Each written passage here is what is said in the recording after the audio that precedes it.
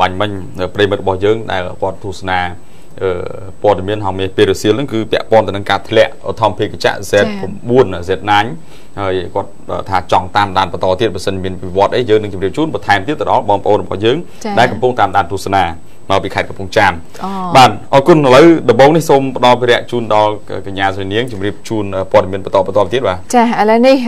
បន្តទៅរឿងកណ្ដីគ្រោះថ្នាក់ចរាចរណ៍ជាបន្តទៅទៀតគឺរនាំងដៃដែលកាត់ទៅតឹងផ្លូវជាលេខ3និងលេខ4ណាចាគឺឆ្ពោះទៅខេត្តនានាហើយគឺបានបាក់ចាបាក់ធ្លាក់ខណៈដែលរថយន្តដឹកកេះមី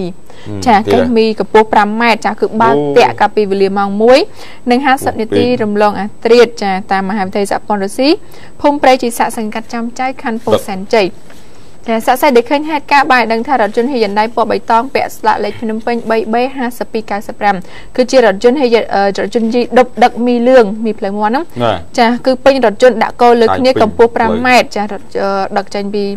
គឺកម្ពស់5ម៉ែត្រហើយគ្របតង់ពីលើបិទចិត្តហើយមានអ្នកជិះក្នុងរថយន្តហ្នឹង7នាក់ដឹកមីមកពីប្រទេសមកពីប្រទេសវៀតណាមយកមកលក់នៅក្នុងរាជធានីភ្នំពេញហើយធ្វើដំណើរនៅតាមផ្លូវជ័យលេខ3ពីត្បូងទៅជើង ក៏បត់ឈ្មោះទៅតាមមហាវិថីសហព័ន្ធរុស្ស៊ីពីលិចទៅកើតខណៈមកដល់ចំណុចខាងលើគឺរថយន្តបើកលឿនហើយខ្វះការប្រុងប្រយ័ត្នគឺបានបើកទៅតាក់រនាំងដៃកាត់ទៅតឹងផ្លូវដែលមានដាក់ថាផ្លូវជាលេខ3ខេត្តតាកែវកពតកែបនិងផ្លូវជាលេខ4កំពង់ស្ពឺក្រុងបរសៃអនុកោះកុងបណ្ដាលឲ្យបាក់ អស់មួយផ្ទាំងហើយរថយន្តព្យាយាមបើករថក៏ប៉ុន្តែប៉ះធាក់រហែកមីកេះហើយនឹងកេះមីចង់បញ្ជាក់ហើយនឹងកញ្ចប់មីនេះគឺជ្រុះរាយប៉ាយពេញផ្លូវតែម្ដងទើបអ្នកបើកបរឈប់ហើយនាំគ្នាចុះរើសមីដាក់លើរថយន្តវិញក៏ប៉ុន្តែដាក់អត់អស់ដោយសារតែកេះមីរហែករញ៉េរញ៉ៃពេក ហើយប្រភពព័ត៌មានក៏បានដឹងថារថយន្តដឹកកេះមីនេះទុកកខ្ពស់លើគ្នាដូចភ្នំហើយអ្នកបើកបរហ្នឹងក៏ខ្វះការប្រុងប្រយ័ត្នដែរពេលដែលបើកបរឆ្លងកាត់រនាំងដៃកាត់ទៅតឹងផ្លូវហាក់ដូចជាមិនមានការភ័យខ្លាចនឹងការទើសបារះធ្លាក់ទំនិញទេក៏ប៉ុន្តែមិនតែប៉ុណ្ណោះទៀតគឺរថយន្តដឹកគោដូចភ្នំយ៉ាងនេះទៅហើយនឹងសមត្ថកិច្ចដែលដាក់គោដៅនៅតាមដងផ្លូវដូចជាមើលអត់ឃើញគឺធ្វើការខាត់រថយន្តឲ្យរើសទំនិញចេញឲ្យនៅកម្ពស់ ចាគឺគាត់អត់ឲ្យអត់ខត់រថយន្តឲ្យរើទំនិញចេញចាអត់ឲ្យរើចេញកំនៅកម្ពស់ត្រឹមតែត្រង់ហ្នឹងទៅ ចាទៅឲ្យរថយន្តហ្នឹងបន្តដំណើរទៅទៀតដោយសារតែខាងរថយន្តហ្នឹងបង់លុយតែ50000រៀលចាអាចបើកទៅដល់ជើងមេឃក៏បើកទៅដល់ដែរឲ្យតែមានផ្លូវចាហ្នឹងគឺគេលើកមកអញ្ចឹងណាបាទអរចាហើយក្រោយការហេតុគឺតកោរថយន្តបានទូរស័ព្ទហៅតកែហើយបានប្រាប់ បានបញ្ញាបញ្ញាគ្របតង់ចង់ឲ្យចិត្តរួចបានបារជនចេញទៅបាត់ទៅដែលទៅកម្មករ4នាក់នៅចាំមើលមីប្រមាណ5កេះដែលរហែកដាច់យកទៅចាស់ដែលរហែកហ្នឹងចាស់ហើយបន្ទាប់ពីរជនបង្កបើកចេញទៅបាត់ទៅខាងសាលាសង្កាត់ចុះទៅដល់កន្លែងកាត់ហេតុខាត់កម្មករទាំង4នាក់ដែលនៅយាមកេះមីយកទៅសាកសួរនៅសាលាខណ្ឌពោធិ៍សែនជ័យដើម្បីរកលេខទូរស័ព្ទថៅកែហើយមកធ្វើការចរចាគ្នាតែម្ដងបាទអឺដូចលោកអ្នកឃើញស្រាប់ហើយពាក់ព័ន្ធទៅនឹងការដឹកលើសចំណុះបាទលើសចំណុះហ្នឹងមិនមែនធម្មតានេះនេះរូបភាពហ្នឹង4.4ម៉ែត្រ 4.4ម៉ែត្រហ្នឹងអាចឲ្យថារថយន្តទាំងអស់គឺផ្ទុកកុំឲ្យលើសពី4.4ម៉ែត្រតែបើសិនជា4.5ក៏នៅតែប៉ះនឹងរនាំងដែកលើហ្នឹងដែរហើយកន្លែងខ្លះគឺគេដាក់ស្លាកសញ្ញាគឺ5.5គេថា5ម៉ែត្រកន្លះអញ្ចឹងរថយន្តដែលមានទម្ងន់ហាក់ផែលកម្ពស់រហូតដល់ត្រឹម5ម៉ែត្រនេះអាចឆ្លងកាត់ផ្លូវនឹងបានណាហ្នឹងគេធ្វើអញ្ចឹងគឺរឿងរឿងមួយល្អប្រសើរកុំឲ្យរថយន្តនេះដែលដឹក ធ្ងន់ឬក៏ដឹកលើសចំណោអានឹងដឹកខ្ពស់សំពីសំពូនឹងកុំឲ្យវាប៉ះតែប៉ះអញ្ចឹងត្រូវអាជ្ញាធរលោកកត់សម្គាល់ក៏จะធ្វើការផាកពិន័យទៅលើរថយន្តក្រុមហ៊ុនណាមួយដែលបង្កឲ្យមានការខូចខាតទ្រព្យសម្បត្តិសាធារណៈហើយមួយវិញទៀតគឺ កន្លងកន្លងទៅដូចលោកអ្នកឃើញស្រាប់ហើយឲ្យតែមានបញ្ហាអញ្ចឹងគឺអាងតែរត់រួចខ្លួនហើយតែឥឡូវគឺខាងសមត្ថកិច្ចលោកបានខាត់កម្មករចំនួន4រូបហ្នឹងដើម្បីសាកសួរហើយឲ្យខាងតកែហ្នឹងមកចេញថ្លៃសងជាសាធារណៈយ៉ាងម៉េចយ៉ាងម៉ានទៅតាមជំនាញរបស់លោកបើគាត់ដឹងថាឡានគាត់កម្ពស់ប្រហែលនេះមើលទៅគេដាក់ផ្លាក4.4ហ្នឹងគាត់នៅប្រឹងបើកទៅទៀតមិនមិនមិនទៀបពីក្រោម6ទៅ7ម៉ែត្រទេ បាទមិនមិនទៀបពី6ម៉ែត្រទៅ5ម៉ែត្រទេអញ្ចឹងសូមយកចិត្តទុកដាក់បន្ថែមទៀតជាពិសេសគឺខាងអាជ្ញាធរបើសិនជារថយន្តនឹងខ្ពស់ពេកវាវាវាវាប្រហាក់ប្រហែលនឹងទ្រង់ដែកហ្នឹងសូមកុំឲ្យចេញទៅឬក៏ទម្លាក់អីវ៉ាន់ហ្នឹងចុះសិនដើម្បីឆ្លងកាត់ទៅមុខទៀតបាទកុំឲ្យដូចជាបងប្អូនប្រជាពលរដ្ឋលោកបន្តរិះគន់នៃពាក់ព័ន្ធនឹងចំណុចនេះតែខ្ញុំជឿថាពេលខ្លះក៏មិនមែនអាជ្ញាធរដែររថយន្តតែប្រហែលប្រហែលដាក់ទៅជាទៅបានទៅបានទៅទៅប៉ះក្រាក់ក្លែកក្ដុក ចាបាទអរគុណបើកិច្ចអាជ្ញាធរអីចឹងណាហ្នឹងហើយចាបាទសូមបន្តចាឥឡូវនេះបន្តទៅករណីគ្រោះថ្នាក់ចរាចរណ៍នៅខេត្តស្វាយរៀងវិញម្ដងគឺលោកតាអាយុ78ឆ្នាំម្នាក់ហ្នឹងគឺគាត់បានស្លាប់ចាហើយ4អ្នកផ្សេងទៀតគឺបានរងរបួសធ្ងន់នៅក្នុងហេតុការណ៍ដ៏គួរឲ្យរន្ធត់គឺកាលឡើងកាលពីព្រឹកថ្ងៃ11នៅលើកំណត់ផ្លូវជាតិលេខ315នៅក្នុងភូមិព្រៃ ធ្លាក់សង្កាត់ព្រៃធ្លាក់ស្រុក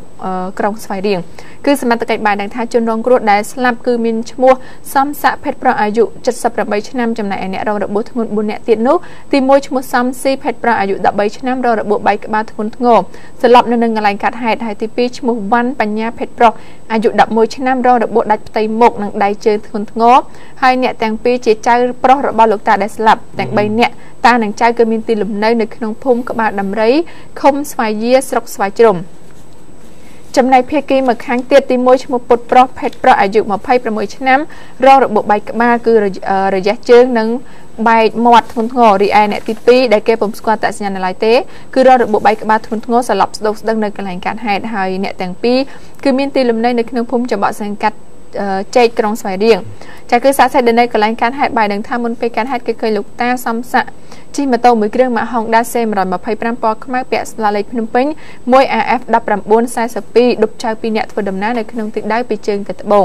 គឺនៅក្នុងលបឿនយ៉ាងលឿនលុះពេលមកដល់ចំណុចកាន់ហេតុហ្នឹងគឺជាចំណុចដែលផ្លូវកែងបែកជា4ចាហើយក៏បុកទៅនឹងម៉ូតូមួយគ្រឿងទៀតម៉ាក Wave Alpha ពណ៌ខ្មៅ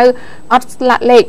ជិះដប់គ្នាពីរនាក់បើកមកក្នុងទិសដៅបញ្ច្រាស់ទៅគ្នាចំពីមុខពេញទំហឹងតែម្ដងបណ្ដាលឲ្យមនុស្សទាំង5នាក់ដែលជិះលើម៉ូតូទាំងពីរគ្រឿងដួលបោកក្បាលទៅនឹងថ្នល់សន្លប់ស្ដុកស្ដឹងរណែករណោករណែលពេញផ្លូវនឹងតែម្ដងចាហើយក្រោយកាត់ហេតុភ្លាមភ្លាមសមត្ថកិច្ចក៏បានហៅរថយន្តសង្គ្រោះដឹកជនរងគ្រោះទាំងពីរនាក់ទៅកាន់គ្លីនិកឯកជនយីហៅកេតបុត្រានិងពីរនាក់ទៀតដឹកទៅកាន់មន្ទីរពេទ្យបង្ងាយខេត្តចំណែកឯសពលោកតាក៏ត្រូវបានក្រុមគូសាយកទៅធ្វើបុណ្យទៅតាមប្រពៃណីដែរចា៎បាទកើតឡើងនៅខេត្តព្រៃវែងស្វាយរៀងស្លាប់ តានៅសល់ចៅរបួសធ្ងន់ចានៅសល់ចៅសុទ្ធតែរបួសធ្ងន់ទាំងអស់ចាដោយសារតែគាត់ឲ្យជិះម៉ូតូបុកម៉ូតូហើយគាត់ជិះលឿនពេកបាទលឿនពេកឥឡូវមានមានមួយរឿងទៀតចាខាងលោកបត្រាបន្តទៅខាងលោកបត្រាចាអឺខ្ញុំវិញនៅក្នុងខេត្តកណ្ដាលជាប់នៅភ្នំពេញរបស់យើងទេគឺជនសង្ស័យចំនួន6រូបត្រូវបាននគរបាលចាប់ខ្លួនបន្ទាប់ពីពួកគេនឹងត្រូវបានចេញទៅ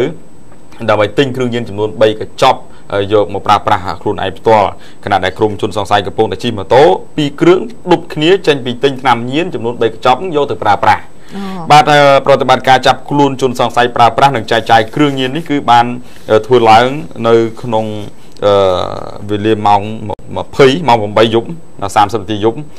នៅថ្ងៃទី11ខែកក្កដាដែលស្ថិតនៅក្នុងភូមិជ័យជំនះឃុំសៀមរាបស្រុកកដាស្ទឹងខេត្តសៀមរាបខេត្តកដាច្រឡំខេត្តសៀមរាបវិញចា៎បាទបើតាមការបញ្ជាក់របស់លោកមេបញ្ជាការមូលដ្ឋានកងរាជអាវុធហត្ថស្រុកកដាស្ទឹងលោកជុនវ៉ានីលោកបានដឹងថាដោយអនុវត្តតាមការណែនាំរបស់អាដាមឧត្តមសេនីយ៍ត្រីមាសសុវណ្ណមេបញ្ជាការកងរាជអាវុធហត្ថខេត្តកដានិងការចង្អុលបង្ហាញពីលោករស្មីទូទូចអេណានបាទមេបញ្ជាការ កងរាជអាវុធហត្ថខេត្តកដាហ្នឹងគឺលោកប្រធានមន្ត្រីស្រាវជ្រាវយុទ្ធធម៌បានដឹកនាំកម្លាំងដើម្បី ឲ្យកម្លាំងក្រមប្រវត្តិនឹងចុះល្បាតតាមបណ្ដោយផ្លូវជាតិសំខាន់សំខាន់នៅក្នុងភូមិសាស្ត្រស្រុកកណ្ដាលស្ទឹងទាំងថ្ងៃទាំងយប់ដើម្បីទប់ស្កាត់បទល្មើសផ្សេងផ្សេងហើយជាលទ្ធផលនៅយប់ថ្ងៃទី11 10នេះសមត្ថកិច្ចកងរាជអាវុធហត្ថបានល្បាតប្រទះឃើញជនសង្ស័យចំនួន5នាក់ជិះម៉ូតូ2គ្រឿងហើយបានឆែកឆេររកឃើញថ្នាំញៀនចំនួន3កញ្ចប់និងបានបន្តស្រាវជ្រាវឈានដល់ខាត់ខ្លួនជនសង្ស័យចែកចាយគ្រឿងញៀនម្នាក់ទៀតនៅវេលាម៉ោង អឺប្រហែលជា9នៅព្រឹកថ្ងៃទី11ខែឆ្នាំដដែលបាទក្រោយពីខត់ខ្លួនមុខសញ្ញាចែកចាយគ្រឿងញៀនហើយនោះគឺអឺមន្ត្រីអាវុធហត្ថខាងលើបានសុំការឯកភាពពីព្រះរាជអាជ្ញាអមសាលាដំបងខេត្តកណ្ដាលស្ទឹងខេត្តកណ្ដាលដើម្បីដឹកនាំកងកម្លាំងកងរាជអាវុធហត្ថចុះឆែកឆេរលំនៅឋានរបស់ជនសង្ស័យបន្តទៀតហើយរកឃើញមានសម្ភារៈសម្រាប់ប្រើប្រាស់និងសម្ភារៈសម្រាប់វិខ្ចប់មួយចំនួនធំនៅលើផ្ទះជនសង្ស័យដែលចែកចាយគ្រឿងញៀនតែពុំបានរកឃើញថ្នាំញៀននៅឡើយទេពីព្រោះថាជនសង្ស័យគឺបាន ចែកចាយអស់ទៅហើយអូចែកចាយអស់ទៅហើយប្រយឃើញបាទអញ្ចឹងបានចាប់មុខសញ្ញាហើយអ្នកដែលប្រើប្រាស់បន្តបន្តដែលដែលទិញពីជនសង្ស័យដែលលក់ឲ្យគេបន្តហ្នឹងណាគាត់ថាបត់ល្មើសគឺចែងនៅក្នុងច្បាប់គឺធ្ងន់ដូចគ្នាគាត់ថាអ្នកដែលចែកចាយបន្ត